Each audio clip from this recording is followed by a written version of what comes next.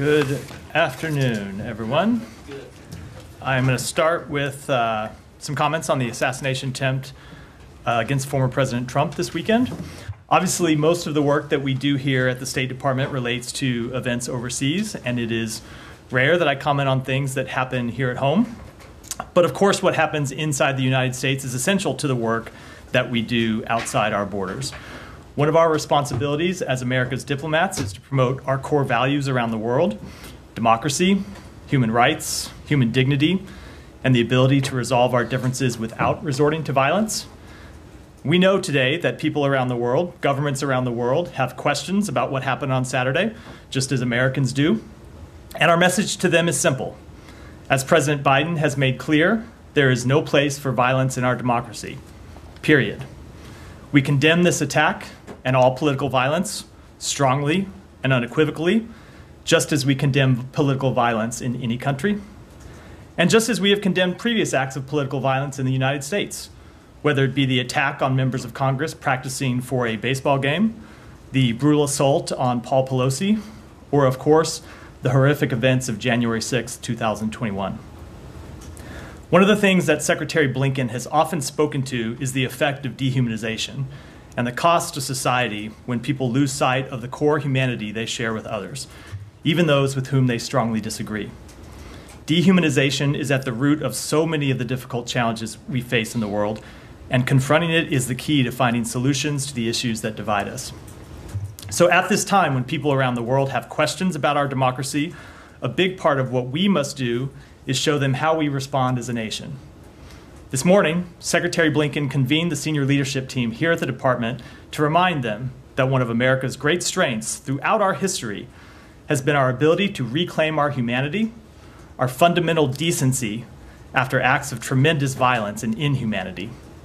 And he asked them to deliver that message around the world, to remind our allies and partners that America has faced trying times before, but that we have emerged from them stronger because of our core values that we share as a nation a commitment to democracy, a respect for the rule of law, and a common aspiration not to let the things that divide us overwhelm those that bind us together. With that, take your questions. Uh, right. So on, on, that, has there been like a, an ALDAC or something that's gone out to all embassies, or was this just something that he said in the senior staff meeting? He there's not been an ALDAC that's gone out. We are going to have guidance that goes out to the field to talk uh, about the events that will be consistent with what you've heard the president say that we condemn violence and make that clear to uh, people around the world who have questions. Um, but today he was talking to senior leadership of the department and asking them to, to deliver that message to their teams. Are, are you aware of any countries who have specifically asked uh, we, U.S. diplomats abroad or here? Uh, we have received, I don't know about asking questions so much as expressing concern. Um, in the same way they have expressed concern in their public statements, and in the same way that we express concern when we see acts of political violence uh, in other countries. So I think what the secretary wanted to do is uh, make sure the team knew to remind countries that we have faced horrific political violence in this country before. Obviously, obviously, we've seen assassination attempts. We've seen successful assassinations in this country. And we have worked through that by returning to our core values as a nation, and that uh, we will do so again uh, today. Okay. And obviously, the State Department doesn't have, well, it doesn't have any role at all in the domestic investigation into this or whatever. So uh, when you're so you would acknowledge, I think, that you're a bit limited in being able to answer questions from foreign Correct. countries, right? Correct. And so, what do you tell them? You tell them to go to DOJ. if anyone had a if anyone had a question about the investigation, it would be something that we wouldn't comment on. We'd say that uh, a, a domestic investigation is not something we would share with foreign countries in any event. We would wait to brief foreign countries when the results of that investigation were finished and made public, and that would be the case here. Uh, can, I, can I ask a question? Yeah. How an incident like the, or an attempt like this impact the U.S. foreign policy of the issues that are really very hot at the present time? Does it impact it in any way, or things go on as usual? No, it doesn't have any impact on our foreign policy. We make our decisions based on Right. uh, uh, our values, based on our Right. interests as a country, based on the the uh, interests of our allies and partners over, overseas, and how to advance them. Uh, so no, this doesn't have any impact on those. Yeah. But do you have any response to how the Russians reacted to what happened on Saturday? They blamed the Biden administration for creating "quote unquote" atmosphere. No, look, obviously, those are uh, incredibly irresponsible comments from the Kremlin, part of a series of uh, irresponsible comments that we've seen them make, and of course, they're absolutely not true. And similar comments we heard from the Georgians. Know, Georgian Prime Minister called the glo- global, global war party being behind uh, this attempt. Any reaction to it? Called what behind this attempt? Global war party, he said. I I don't even know what that means. Uh, obviously, the law enforcement authorities have spoken to this investigation, the things that they know and the things that they don't know. And I uh, understand that they will continue to make clear the results of that investigation as it proceeds. Um, and just as the president, in his uh, remarks in the Oval Office last night, asked the American public not to speculate, not to make irresponsible claims before we know the facts, I think I would extend the same encouragement to foreign countries as well. Please come back to there. Yeah. Yeah. Bangladesh prime ruling prime minister criticized that incident happened in Pennsylvania. She categorized that the U.S. is claiming that they're practicing democracy, civilized country. How they shoot a, an opponent is that a shooting to opponent? As she claimed in a press conference. Uh, So again, I don't know the full context of that remark, of those remarks, but what the president made clear, what Secretary Blinken made clear in a statement that he put out uh, on Saturday night, what I was just making clear is that we abhor political violence in all of its forms. We condemn political violence in all its forms, and it is absolutely unacceptable. And we are strongest as a nation when we return to our core values of settling our differences peacefully, of respecting the rule of law, and respecting our core democratic rights, values, uh, uh, and beliefs. Later, I will ask one. Okay. Can we go to the Middle East? Sure. Uh, Secretary Blinken has met today with uh, uh, Minister Dermer and uh, Advisor Hanegbi. Do you have any readout?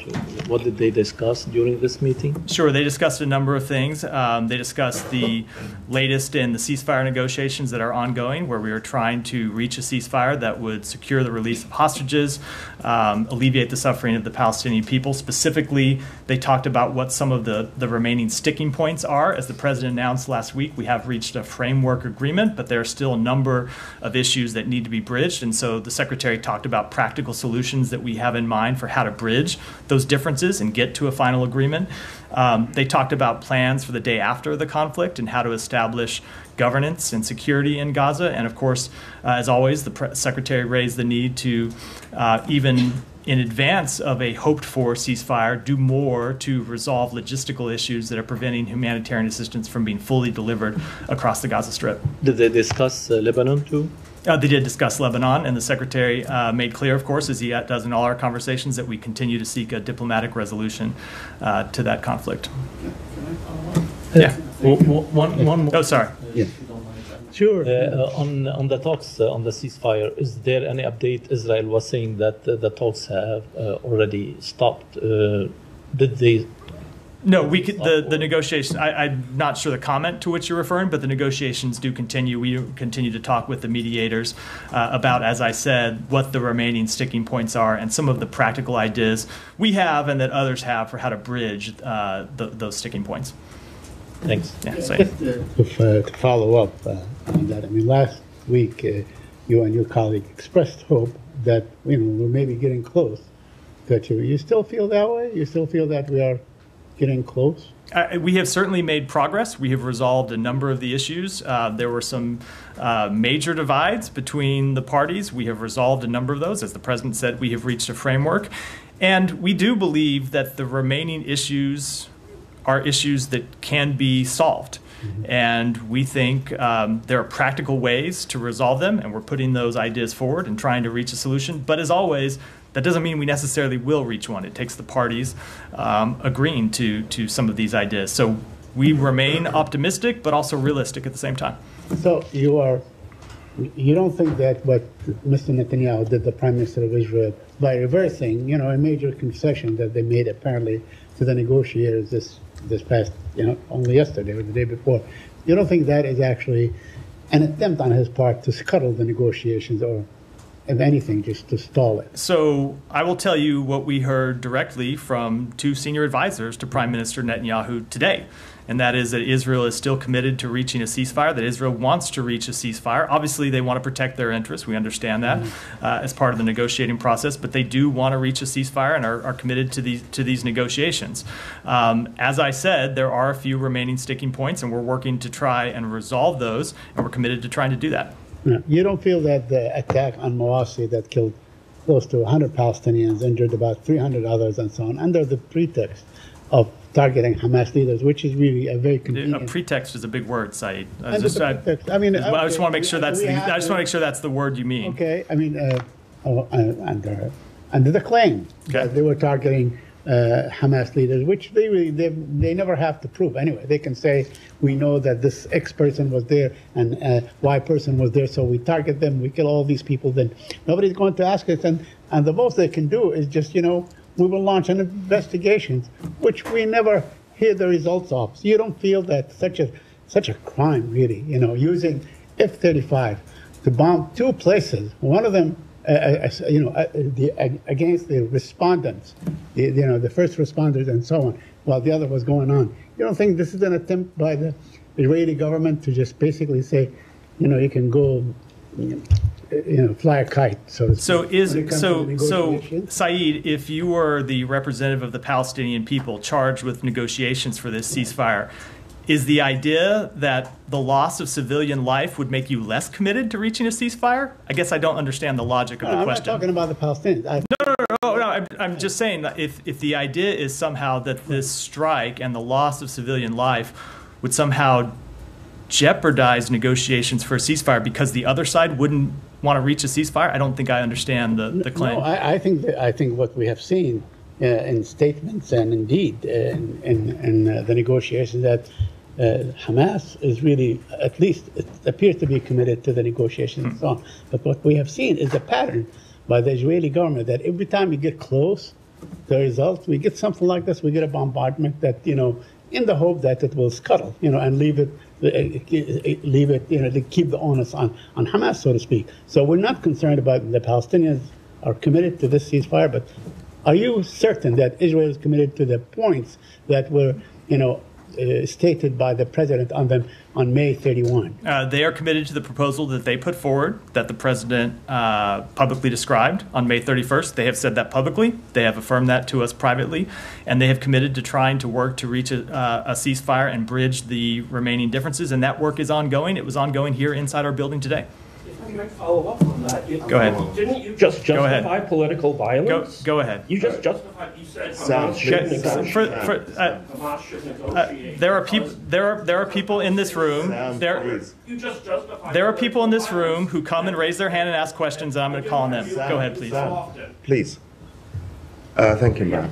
I just want to follow up on, on your answer to Said about the uh, about the the reported in Israeli media that the Benjamin Netanyahu and his government is trying to sabotage the, the negotiation every time we reach to a point when it's closed. And I remember there was so much hope when you received the latest Hamas uh, proposal, uh, and there was statements from the White House and the State Department, but we heard over the weekend, either from uh, sources in the Israeli media or from Mr. Netanyahu in his press conference, that he is not budging. He will stick to the letter of the proposal of the May 31st, which and sources also in the Egyptian side said that the, the Israeli delegation is just stalling. The, there is a discord among Israelis, and they also said that the negotiation is in a, dead end.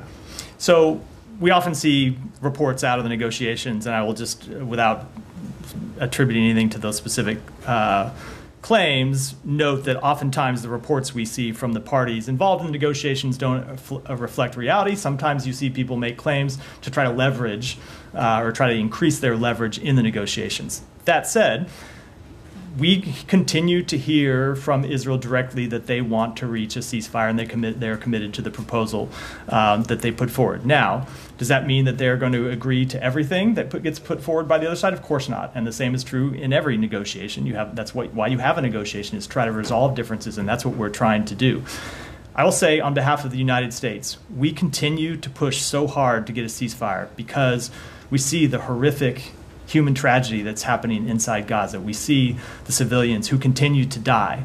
And we want to resolve this conflict as soon as possible. We want to get a ceasefire, and we want to turn that ceasefire into an enduring calm. We want to turn that enduring calm into an end to the war and lasting peace and stability. So it's a long way of saying there are differences we have to bridge over the coming days and weeks, and hopefully we can do it as soon as possible to get to a ceasefire. And we're committed to doing that as a first step in trying to resolve this conflict once and for all. Uh, Uh, Mr. Netanyahu, in his press conference, also put five red lines. He stated them. One of them is uh, what been understood to be that Israel has to stay in the Philadelphia corridor. Is that something within the May 31st? So, uh, uh, as I um, have said on previous negotiations, I don't want to negotiate this in public. I will just say, with all of the issues that remain, we believe that there are ways to bridge the divides between the, the two sides. Um, that pertains to all of the remaining issues. I'm not going to get into how we would do that or what they might be, but that's what we're committed to trying to do. Thank you. Janne. Thank you, Matt. Two- Excuse me, two questions.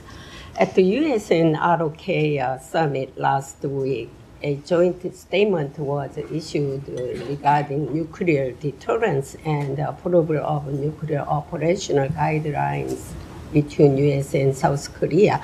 In response, North Korea said the joint statement was an illegal document and criticized the US and NATO for being more dangerous. How will you react to this? Uh, of course, that is not accurate. NATO uh, remains a defensive alliance. Um, and as always, I'm not going to respond to every provocative and inaccurate statement by, by the government of North Korea. And another one, military cooperation between North Korea and Russia, and Putin's uh, recognition of North Korea as a nuclear state have made it difficult for North Korea to engage in dialogue to give up the nuclear weapons. Uh, are there any change in United States foreign policy to resolve North Korea's uh, nuclear program? No, we remain committed to the full denuclearization of the Korean Peninsula. So I, was- I would still expect North Korea come up to talk to with the United States for this Th- regarding. There has been no change with regard to this policy. Yeah. Thank you. On Gaza, uh, Israeli Finance Minister Smotrich today uh, opposed releasing Palestinian prisoners as part of any, you know, potential Gaza Gaza ceasefire agreement. Um, have you seen that comment, and do you have any reaction uh, to this, especially with regards to Gaza uh, ceasefire? I, I have not seen that comment, but obviously, an exchange of prisoners is something that was included in the previous one week pause that happened last fall, and a uh, potential exchange of prisoners is something that's included in the, the um, package that's on the table. We often see comments by various ministers in the Israeli government that don't reflect the actual position of the Israeli government, but I will let but I will let the Israeli government speak to that in more detail. Okay, take one more, please. Yeah. Uh, do you have any comment on the uh, Israeli attack on the on a UN school uh, in Nusayrat refugee camp in Gaza uh, over the weekend? Uh, UNRWA also said its head- headquarters in Gaza has been completely uh, destroyed uh, in an attack. What is your re- reaction, and do you think uh, Israel is targeting UNRWA sites uh, intentionally? So one of the things the secretary did when he met with Ron Dermer and the National Security Advisor Hanegbi earlier today was to express our serious concern about the recent civilian casualties in Gaza. As I've noted before, we have seen civilian casualties come down from the high points of the conflict and even from uh, where they were, say, six weeks, two months ago, but they still remain unacceptably high. We continue to see far too many civilians killed in this conflict. We want to see civilian casualties completely ended. It's why we are pushing so hard to a ceasefire, but even in advance of a hopeful ceasefire, we want to see uh, Israel do more to reduce civilian casualties. Now, with respect to that strike, Israel has claimed that they were targeting um, militants who were inside that site. Um, they do have the right to target militants. Um, Does that justify attacking on civilians? no, that's what I'm just saying. We we do, um, uh, but no, of course, it does not justify any attacks on civilians. We don't want to see any attacks on civilians. We don't want to see any civilian deaths. So, as always, this is the difficult thing in this conflict when you see militants who continue to hide in schools, in mosques, in hospitals, in other facilities. It makes the the challenge that Israel faces incredibly difficult. But no, we don't want to. Th- there's nothing that justifies attacks on civilians. No, Sam, go ahead. And did Hanegbi and Dermer give the secretary any update as to if the strike actually killed a top uh, Hamas commander? They, they do not have certainty yet. They don't, do do you expect that they will eventually have certainty on this one, or is this one where I can't say expect. I think they certainly hope to have certainty, and we would hope that they have certainty, but they don't. They don't yet. Okay, and can I just um, pivot to one thing still on Israel? But um, my CNN international colleagues reported over the weekend that um, commanders of the Israeli military battalion, the Israeli uh, Netzah Yehuda, have been promoted to IDF positions and are running operations in Gaza now.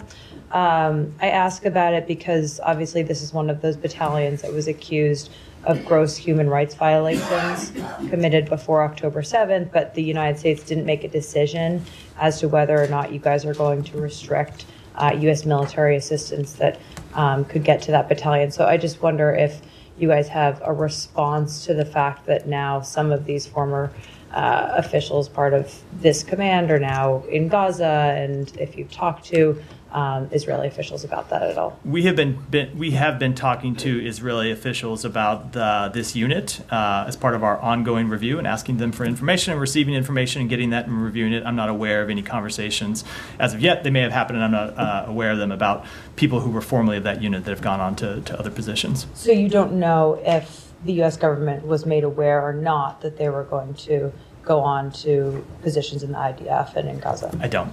Okay, and I mean, like timeline here, I mean, this, you know, you guys made this determination more than almost three months ago now. Um, the secretary said that you guys were um, engaging to identify a effective remediation path for this unit. I don't have a timeline. We want to resolve it as expeditiously as possible, but we're continuing to engage uh, with the government of Israel about what effective remediation measures might look like, and that's a process that's ongoing. And are they um, providing you all with the information you've asked for? They have provided us with information. I can't speak to the full status of, of where that stands and what, you know, when it comes to getting information from them, but they have provided us some information, yes. Gita. Thank you, Matt. Um, there's a group of uh, American Iranians outside this building today uh, protesting to what they're saying del- very long delay in the processing of their family members' visa applications, different types of visas, obviously.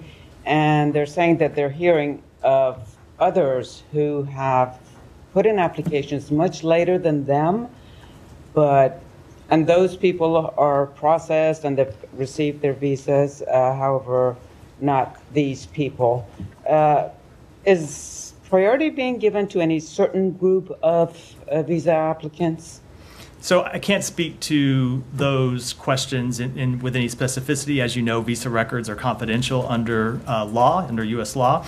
But I can say that we review and act on all visa applications as quickly as we can. But it's important that we uh, are thorough in that review. Visa applicants have to undergo uh, a thorough security screening. That's part of the process, uh, as well as other measures. And so that the, uh, uh, that's the process we have to go through. I know it's sometimes frustrating for people. Oftentimes we can't explain the delays that there are in in, um, in acting on any one applicant's status um, or their application, but it's something that we try to do as quickly as we can, but not at the expense of ex- uh, sacrificing thoroughness. You did say you cannot explain, and that's one of their major Uh, yeah. grievances. Well, at least tell us, you know, what's going on, so we either know it's one way or another, yes or no, or if we need, they need to do something. I certainly understand the difficult situation that people are in when they have applications that are pending and they want to either either of course first priority is to see them approved and absent uh, being approved they just want an answer. All I can say from here is that we do act as quickly as possible, but it's sometimes it's a difficult process. There is um, uh, security screening that we have to go through and other steps, and so we take those measures um, as quickly as we can. But our first priority is to make sure that we're thorough. Yeah, to the region. Uh, did the secretary um, discuss uh, with uh, the Israeli officials the delivery of arms to Israel? And is there any update regarding the 2,000 uh, pound bombs? Uh, I don't have any readout with respect to um, that that uh, a potential discussion about that. It is something that, that often comes up in, in those meetings, um, but no, there is no update with the with the delivery of that two, the 2,000 pound bombs. That shipment remains paused and under review. Thank you. Uh, yeah, go ahead. Thank you very much, Matt. A couple of questions. Uh, uh, it's very nice to hear State Department talk about the political violence. Um, last week in Pakistan, similar comment uh, you had made was taken out of perspective a little bit uh, because President Trump has been shot as well and Imran Khan was shot as well. But over there, the reaction was not the way it is in the U.S. So my first question is that Supreme Court of Pakistan, most of the judges favored Imran Khan. The guy was shot political violence in the US, all 1,000 people, 600 pleaded guilty, 400 were charged, punishment was given.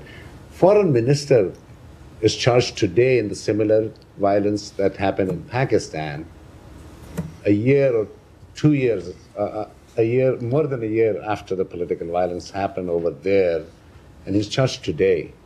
The political party is being banned of Imran Khan. Today, the government has decided that. Your entire Congress has decided to rule in that favor. And I have asked, been asking you these things for a year and a half, these same questions. But over there, you are not making the comments that you make here for democracy, political. Why is that? So I guess I'm missing what the actual question was. So the question here? is that uh, with an ally like uh, Pakistan, why do you not have the same feelings of either political violence we, or we, democracy we, or we, the rule of law? So I think you have missed the very many times I have addressed this exact question from this podium, where I have said, of course, we abhor political violence in any country, including Pakistan, and have spoke out against it and condemned it. And we support the rule of law in Pakistan and every country in the world. And we want to see respect for democratic principles and people's fundamental human rights and democratic rights upheld. That's true in Pakistan, it's true everywhere in the world. That's been something I've spoken to many times. So I think the premise of the question with respect is, can, is wrong. Go ahead. So just one more, Come to you next, Ryan. question. Matt, just one more, please. Yeah, go ahead. Um, in Pakistan, there was a funeral procession of an Afghan poet. Uh, he, he, he was killed in Islamabad. In Pakistan, you know, there's a million Afghans. I've always spoken in the favor of Afghans. But last week, what I saw, and there are 50,000 Afghans, with the U.S. wants to pull out as well. There was a funeral procession from Islamabad to his native village in Waziristan.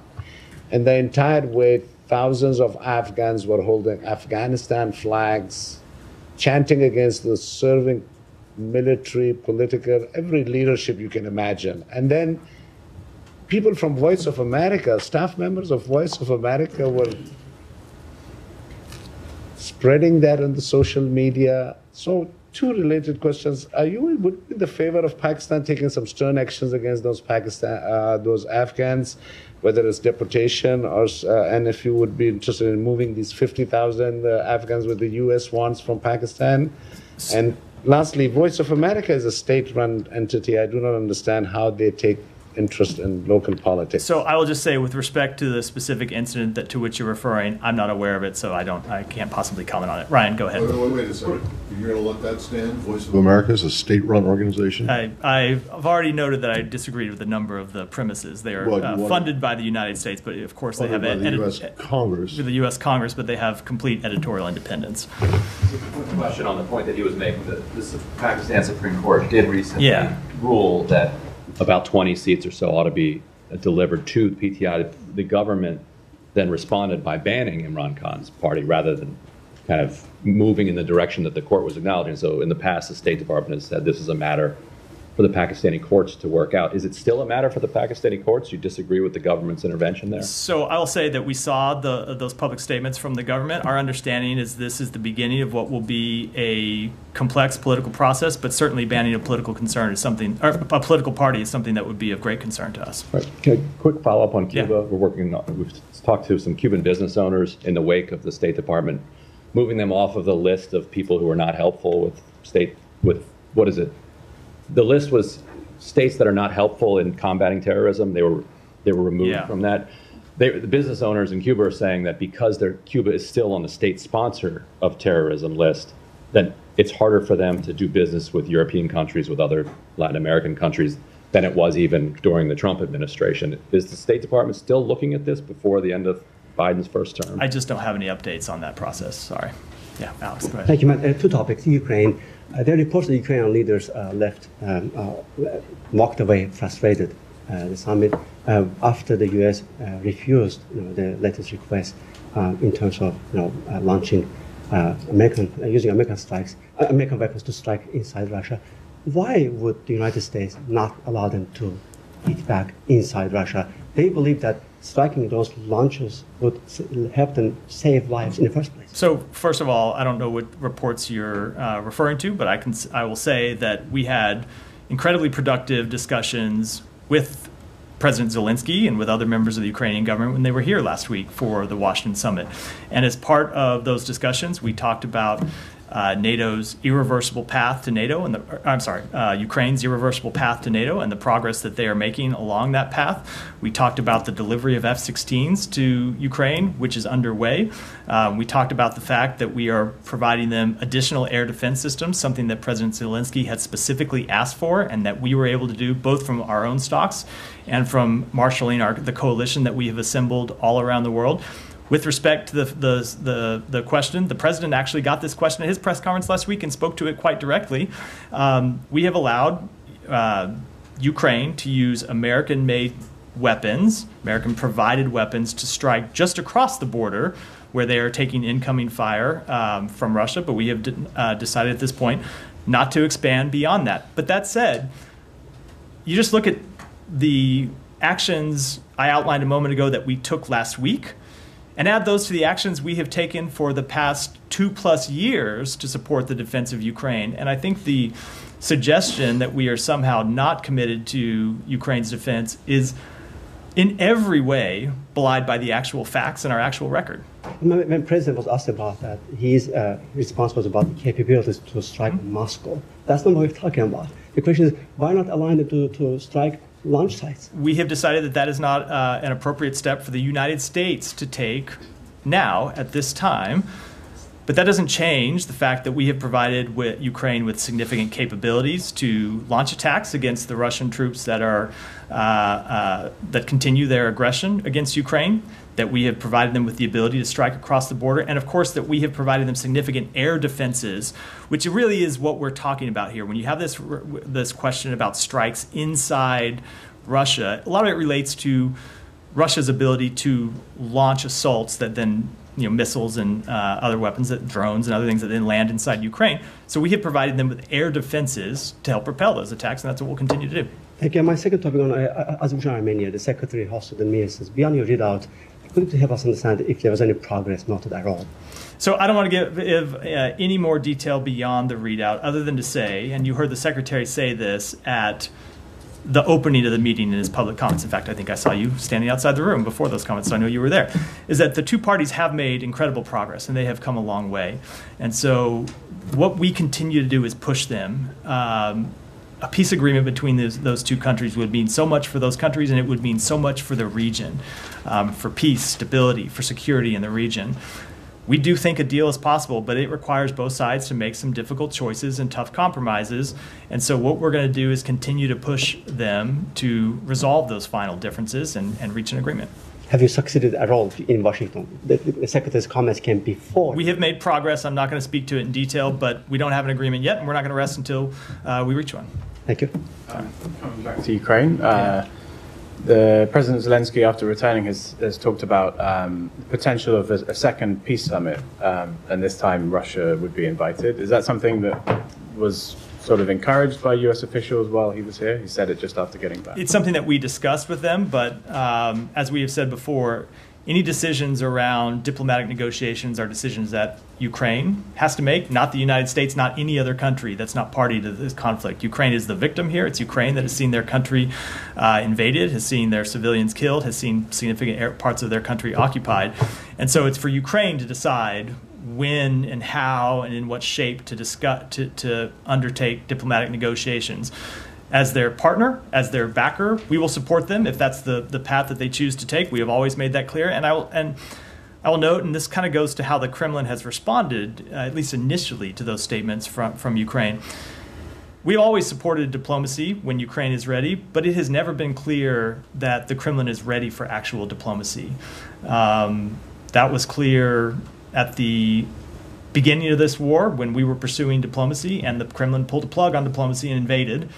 And it remains seems to remain true today, but um, uh, we will continue to stand with Ukraine, and when, if and when they believe further diplomatic steps are um, uh, with Russia are appropriate, uh, we will support them in that decision. But that is a change that previously they they held a peace conference and didn't invite Russia. So does, doesn't that show an unwillingness from the Ukrainians to, to, to engage in, in sort of, you know, you might not agree on everything, Well- but you could at least bring them to the table. So I guess uh, the, correct, but the the the difference is there's just a fundamental difference between Ukraine and Russia in this conflict in that one is the aggressor, one's the victim. And so we do look at the victim differently than the aggressor, right? It's just a fundamental fact of this conflict um, that it was Russia that launched this war, Russia that is occupying Ukraine, Russia that continues to, to launch assaults, Russia that could end it, the conflict today by withdrawing back to their borders. And so, of course, we look at them differently because one has the moral high ground and one, one does not. Um, but our position with respect to negotiations hasn't changed, and that's when, if and when Ukraine is ready to pursue either direct negotiations or direct diplomacy or some other form of diplomacy, we will support them in that decision. And from this administration's point of view, there's basically no there's no point at which you would um, tell Ukraine that you know you need to you need to come to the table now. That's never going to be. Um, I I guess I'm asking because you know, depending on who might be the, the vice presidential pick uh, for for the the, the Republican uh, nominee and things that the Republican nominee has spoken has spoken about Ukraine. You know, it seems like there's a high there's a you know a reasonable possibility, depending on which, which way you think the election's going to go, that early next year the situation's going to look quite different. So from the Ukrainians' point of view, you know, do you think they might be responding to U.S. political realities by by making this step? I am not going to uh, speculate or comment in any way on why the Ukrainians might, might be making that decision, other than to say that um, lots of times you hear people say, we want to see peace in Ukraine. Of course, we want to see peace too. We want it to be a just peace. Not just any peace, but a just peace and a lasting peace. And so we'll support Ukraine in the decisions that they make to try to achieve that just peace. Can I follow up? on Yeah. that? So, so, obviously, the, he's talking about a summit, which we're talking about the month of November. So, Anything else happening then? Uh, exactly. Just to follow up uh, on that, I mean, the, the new thing is that Ukrainian president is saying the Russians should be at the table. So, I mean, the question, and which is different from the, the, the summit in, uh, in Geneva or next to Geneva or wherever. So, do you support that? We yes or no? We, I mean, you're, yeah, you're uh, yes, I, we support the we support the government of Ukraine and make it, it. So again, it is not a decision for us to make, right? That's I, I, I'm not trying to be cagey. It is it is a decision for. It has always been our our view that decisions with respect to diplomacy around this conflict need to be decisions made by Ukraine where Ukraine is in the driver's seat. And so when they if they want to invite Russia to the to that summit, of course that is something we support. That's a decision that they as a direct party to this war, as the country that's seen their borders invaded, their people killed, um, uh, they should make, and we will support them in it. You know, the Russians have, have always said that they actually support, uh, and they were close, in fact, to reaching an agreement with Ukraine back in April 2022. That before Mr. Boris Johnson scuttled the whole the whole deal. Do you have any comment on that? I mean, that, that was their position That is all along. that is not the first um, uh, unreliable. Uh, uh, unreliable is a generous way to put it. That is not the first statement we've heard out of the Russian government that does not comport with the actual facts. Thank you. Thank you, Matt. Tens of thousands of students have been protesting for for last few days in Bangladesh, demanding the abolition of quotas in favor of a merit-based system for civil service jobs. The ruling party's wing, Bangladesh Chhatra League, has attacked the protesters, injured around 500, 500 students just after the uh, ruling prime ministers threatened the protesters. They also attacked the students, those who are entering the emergency room for their treatment. So, what is your stance on on these ongoing massive protests in Bangladesh? So we are aware of and are monitoring reports of widespread student protests in Dhaka and around Bangladesh that have killed two and attacked and injured hundreds. The freedom of expression and peaceful assembly are essential building blocks of any thriving democracy, and we condemn any violence against peaceful protesters. Our thoughts are with those who have been impacted by this violence. Thank you. Uh, thank you, Matt. Uh, sorry. Uh, a meeting was held uh, a few days ago in Cairo uh, regarding uh, the arrangement of uh, boarding uh, between uh, Egypt and Israel and the United States. While Egypt is insist Israel to withdraw from Philadelphia Philadelphia corridor, Israel is in, uh, stay there and control over this area. There is any new arrangement regarding this issue? Uh, no, no new uh, agreement, but it is something we are working on. Israel has very uh, real security concerns about the Philadelphia corridor. That was a uh, chief, if not primary, smuggling route for Hamas to get weapons into Gaza that they used to uh, launch the attacks of October 7th, that they lo- used to launch rocket attacks against Israel, that they used to oppress the Palestinian people. So it is important that uh, that smuggling of weapons into Gaza be resolved. Um, it's also important that we find a way to reopen the Rafah border crossing. So we have been in talks um, with Egypt and with Israel about how to accomplish all those objectives, but I don't have any announcements to make today with regards to any agreement. It's something that we're continuing to work on. Okay. Uh, uh, next question, please. When will the United States condemn Israel targeting of civilian in Gaza, especially consideration, uh, considering that U.S. administration is providing Israel with the weapons that killed the Palestinian civilian? We are incredibly troubled by the ongoing deaths of Palestinians in Gaza. I've made that clear. I spoke to that Yes. uh, earlier in, in uh, the briefing to uh, in response to a question from one of your colleagues. Yes. As, as I said, it's an incredibly difficult situation. It remains an incredibly di- difficult situation. Um, when you have the not just Hamas militants, but uh, if it turns out to be true that Mohammed Deif was actually hiding among civilians, one of the leaders, the, the you know, number two uh, in the leadership of Hamas in Gaza, was hiding among civilians in Gaza. It just shows the very difficult challenge that this war poses. Obviously, he is a legitimate military target. He has tremendous blood on his hands, including the blood of American citizens, I should remind everyone of. And so he is someone that Israel should be allowed to target and go after, um, but they have to do it in a way that minimizes, that prevents civilian casualties. And it's very difficult operating in this environment, but that doesn't uh, in any way uh, alleviate their responsibility to do so. But is this justify to kill uh, civilians, children? There is no justification for the death of civilians. No, absolutely not. We don't want to see any civilians die. There is justification for strikes on military targets and militants, including the leadership of Hamas. And those are strikes that we support, but they need to be carried out in a way that, to the maximum, to the furthest extent possible, minimizes and prevents civilian harm. Um, that is what we continue to press up, uh, upon the, the government of Israel. As I said earlier, civilian casualties have come down fairly significantly from earlier in the war, but they still uh, remain unacceptable. And that is why we continue to push for a ceasefire. It's why a ceasefire is so important, because then you wouldn't have kinetic activity inside Gaza that was leading to these civilian deaths day after day after day. You would have a, um, a, a, a s- pause in the conflict, a ceasefire that hopefully we could uh, widen into an actual end to the war. And also, uh, also Israel needs strong words from the United States to condemn killed civilian, not only not allowed.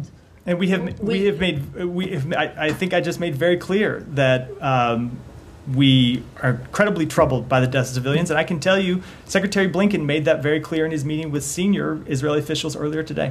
Mm-hmm. But the United States wouldn't do something like this. I, I mean, it was time and time and time again that they actually held back striking, whether in Syria and Iraq, because some civilians were compromised. They have done that a number of times. So would the United States do what Israel just did? I, I cannot speak to the exact circumstances about how uh, targeting decisions are made. I spoke to the exact to the principles that we uh, believe in and will continue to. Go ahead. Sir, uh, the Pakistani government has uh, announced a ban uh, on former Prime Minister Imran Khan's political party, Pakistan Tehreek-e-Insaf. The uh, information minister says that uh, Imran Khan and his political party involved in anti-state activities.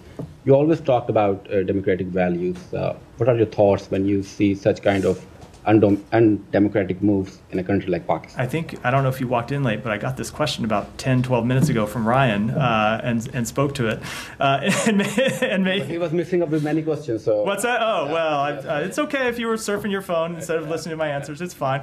Um, I'm, ha- I'm happy, always happy to, to repeat myself. Um, what I said in response to, to Ryan's question um, is that no, we've seen the, the reports and the statements made by the government. Uh, our understanding this is the beginning of a complex process, but um, certainly the banning of a political party is something that would be of great concern to us. Uh, I think Ryan also asked about the Supreme Court decisions. The State Department expressed uh, concerns uh, after the elections in Pakistan and asked for the investigations. So when Supreme Court now handed over these 20 seats to Pakistan Tehreek-e-Insaf, uh, but this is something State Department was looking that kind of investigation. So, uh, as, I, as we've said, we support the peaceful upholding of constitutional and democratic principles, including respect for human rights and freedom of expression. Uh, we support democratic processes and broader principles, including the rule of law and equal justice under the law. And as those internal processes continue to play out, we will monitor the, uh, these decisions and further decision, any So- further decisions by the So after Indian Prime Minister Modi visit to Moscow, both the countries decided to boost their trade relationships, and stats shows that last year the trade was 65 billion dollars. President Zelensky, uh, in his statement, uh, termed this uh, a, devast- a devastating blow to the peace efforts. What are your comments on this multi-billion-dollar trade and and Zelensky remarks?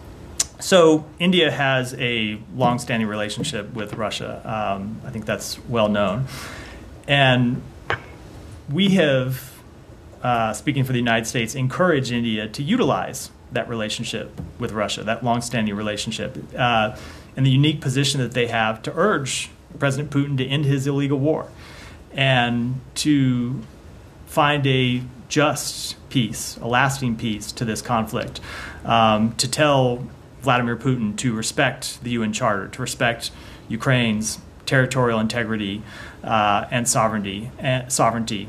And that's what we'll continue to impress upon the um, government of India, who is an important partner of ours when it comes to their relationship with Russia. Go ahead. Thank you, Matt. Question on normalizing relations between Turkey and Syria. There is a lot of discussion on that issue in the region, and Iraq has took initiatives to set up a meeting between Ankara and Damascus uh, to normalize relations between Turkey and Syria. How do you see that, and will that affect your policy towards Syria, especially to northeast Syria? Let me take that question back. And, And another answer. question. Yeah. Uh, recently, Iraqi foreign minister, he was in Washington and he talked to the press. He said that there is a lot of engagement and discussion with the U.S. about uh, restrictions on the U.S. Uh, Iraqi banks, U.S. restriction on Iraqi banks, and they are requiring and requesting the U.S. to remove these restrictions. Do you see any positive signs from the Iraqi banks that they changed their behavior, their links with the Iraqi militia groups, and sending dollars to Iran? I I think that's a question I'm going to refer to my uh, colleagues at the Treasury Department. And with that, we'll wrap for today. Thanks, everyone. Thank you.